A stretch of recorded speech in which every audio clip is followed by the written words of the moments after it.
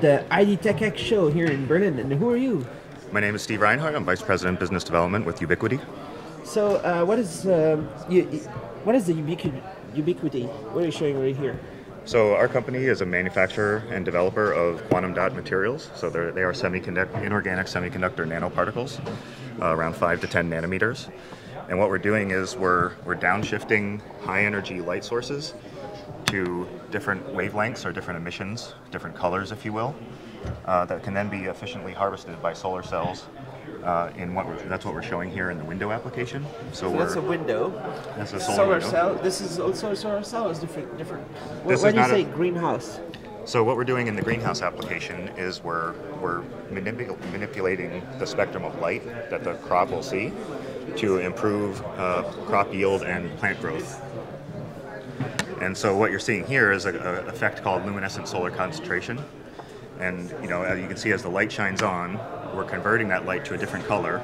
That light is getting wave guided to the edge of the glass, at which point we uh, affix solar cells, and then we're generating power in the case of a you know, our fully transparent but tinted window.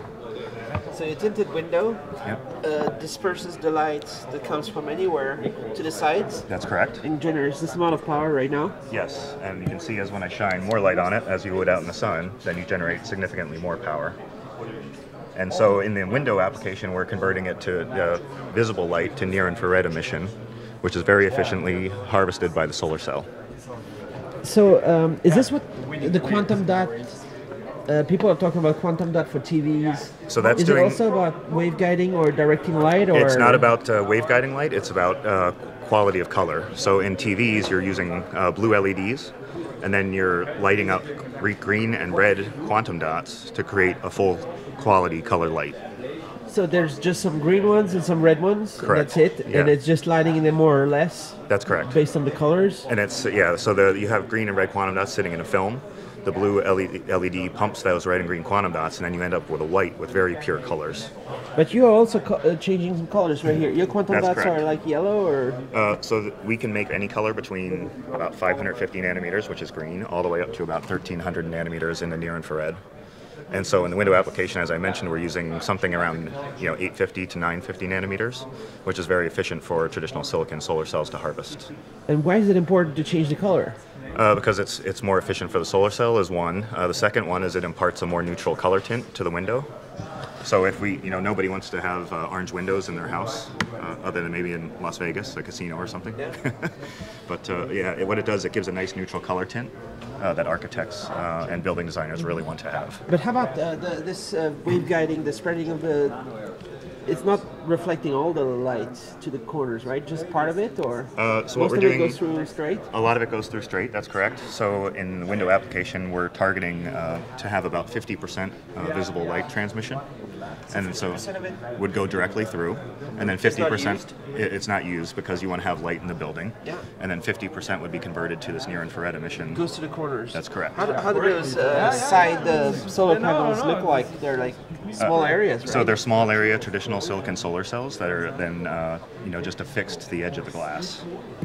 How about some other competing uh, uh, transparent window solar technologies? How efficient are they compared to yours? Uh, so I think ours are, are definitely on par. The, our really our unique selling point is the ability to be tinted but fully transparent otherwise. So other competing things like organic photovoltaics, I think the reliability is not quite as good, and also you're going to have like a grid lines, you know, lines running through the windows or a grid pattern, which architects you know really don't want to have. So you can either you know the other approaches are you know like that, or like people just try and make so you know traditional solar cells very very thin, but they still have some optical distortion or or defects in the window. But you need to have squares this size, or you can have them much bigger. We can have them much bigger. So this is just a prototype that we can bring to the show, but we're working now on, on panels that go up as big as a meter squared to do pilot projects, and then eventually we'll be doing things on you know two meter by three meter scale commercial you know skyscraper window volumes. So the the the quantum dots are like in a uh, liquid form, or where where well, are they? So when we make them, it's a solution-based uh, process. Uh, we typically dry them down to a powder, uh, but what we do is we then dissolve them into a polymer resin, and that that in, you know basically polymer interlayer that's called in the window business is then laminated between two sheets of glass. So it's basically a laminated glass uh, structure. Uh, what's the price? It's going to be affordable. Uh, it'll be very. Make, make a building with your technology. Yeah, so we don't have a, a fixed price for the for the system yet, but it, we've done some modeling with the National Renewable Energy Lab in Golden, Colorado, in the U.S., and uh, we're projecting now about a three to five year ROI for our product. Three to five year. That's it. Yes. How does that compare with other s- systems? Uh, uh, it's hard to say because the photovoltaics they vary so much, uh, but I think we're very competitive for a window, and then we bring that unique uh, point of being, you know, fully transparent and having zero, you know. Does the, this whole waveguiding thing where the light goes on the sides could could it uh, affect some kind of uh, visual artifacts kind of things, or it's just going to be so smooth? It's going to be pretty smooth. I mean, I think. Uh, I don't know. What do you think?